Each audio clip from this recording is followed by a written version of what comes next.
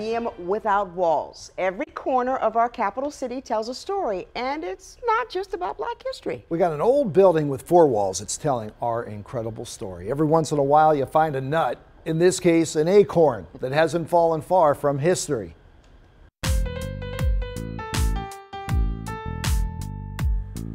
There it is, the mighty acorn, which sat atop the State House when George Washington was president, brought down in 1996 and out of our view ever since, until now. You can find it resting at the historic Annapolis Museum. I was nervous. Small town, small nonprofit, small staff, small budget. How does, that, does this not end up looking homemade? No, this is Annapolis made. It is a building of beauty. And it's more fabulous than you ever could have imagined it. Your eyes are going to swell with pride. Annapolitans have never seen anything like this in their city. Your eyes will swell with tears on losing our friends at the Capital, remembered with this Pulitzer.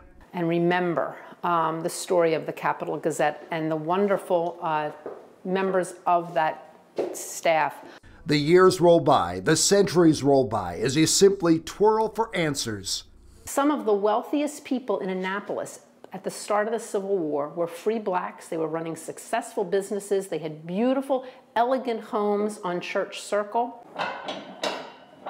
You can twirl historic moments like the 64 sit in at Barnes. This represents uh, the civil rights movement yeah. uh, in Annapolis. So, Annapolis was a segregated community. Mm -hmm. Here in the museum, we focus on segregation in ed uh, education. We look at segregation in entertainment and in medical care.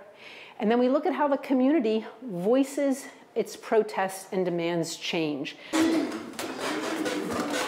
Go up each flight of cranky steps with Mary Angela Hardwick, the genius of this place. She'll show you stuff you never knew about that's right under your feet. Um, and this area here. So much of this room um, is history that was brought forth by the community. So the images and the objects are things that were shared with us when we went and talked to families and said, tell us about your family's story in Annapolis. It's amazing to experience what this city has been through. I've always been a proud Annapolitan, and I always wanted to somehow tell that story. And to think, if Tom Jefferson stood at this spot, looked out this window, he'd say, Where ye horses? Other than that, nothing has changed. But we have. The community coming and saying, Our story's finally being told. Aris T. Allen, sure, we get off his boulevard, but do we know he was a doctor who was married to the first female African American doctor in Anne Arundel? This was her bag. Alexander Hamilton in Annapolis. Uh, of course, everybody loves Alexander Hamilton, yeah. so of course we have to shout out the fact that he was here in 1781. The pictures you see are friends you know from events you lived through. We see and witness Annapolitan pride. It just explodes. People say, This is my town, this is my city, this is my history. Every day's a day at Carr's Beach. You'll learn about Annapolis Harlem up on Clay Street. Duke Ellington, uh, Pearl Bailey, Ella Fitzgerald, um, and so it got the nickname Annapolis Harlem.